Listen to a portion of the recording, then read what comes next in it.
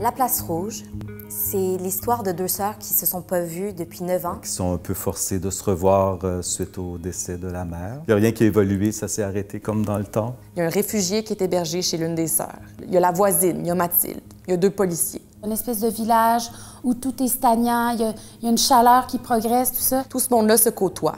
Et puis, ça va dégringoler. C'est un texte qui est très dense, qui est très riche, qui aborde des choses euh, difficiles. Ça traite de l'immigration, d'accueillir un immigrant chez soi.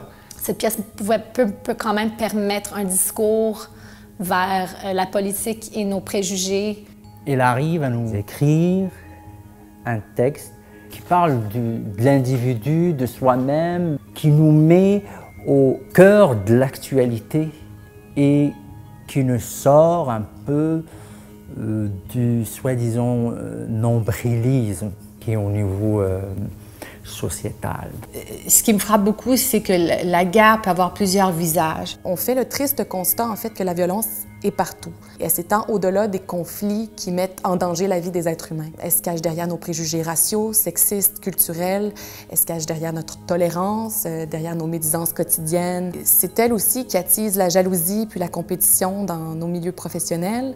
Faire coïncider ou relier les histoires individuelles de famille avec l'univers, avec le monde, avec l'autre qui vient, qui vient de loin. La famille, les traditions, euh, la mémoire. C'est la famille qui forge le futur citoyen qu'on va devenir. Comment on peut dépasser, je crois, notre égoïsme pour aller à l'écouter de l'autre et trouver une façon de vivre ensemble? Les silences aussi sont extrêmement intéressants parce qu'ils sont évocateurs. On rit des maladresses humaines. On est touché par nos imperfections. On passe du tragique au comique.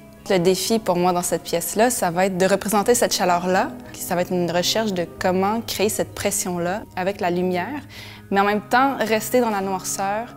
On a choisi des compositeurs russes pour, euh, pour s'allier un peu avec Tchekhov, Rachmaninov, Prokofiev. Puis le reste de la musique, je l'aurais composé. Je travaille avec une équipe extraordinaire, puis je suis vraiment heureuse qu'on m'ait demandé de faire partie de ça. C'est un texte qui est ambitieux aussi. Je pense que c'est un texte qui est à, à la hauteur de ses ambitions. Mais je crois qu'on va arriver à quelque chose de très précis, très, très sobre, très beau, très touchant.